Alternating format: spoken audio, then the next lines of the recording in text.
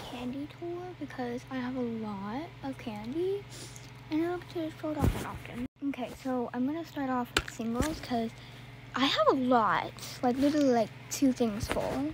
Like we have this that I got when I was little and this, which it isn't full, but yeah. This one because it's clear.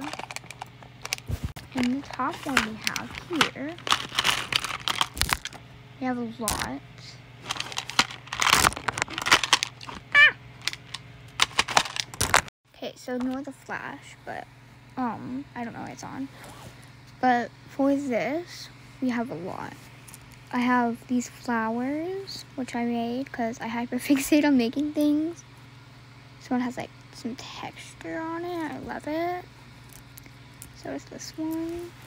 Yeah. So now for my actual singles. I have a lot in here, but these aren't all of them. So now we're gonna actually do the singles. We I have a lot here.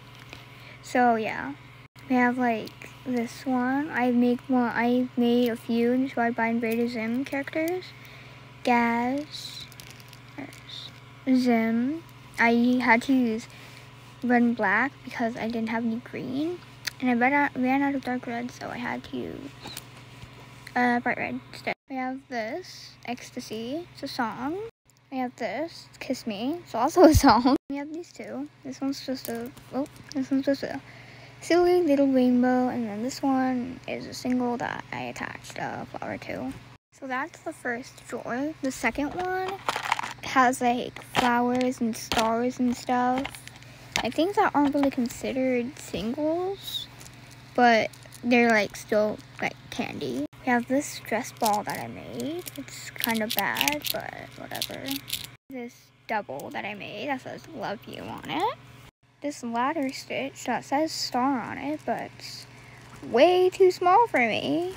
Now we have her, this big box just full of singles. In this cabinet here, we have, whoa, singles. I know a lot of these aren't kandi, but whatever, it's fine.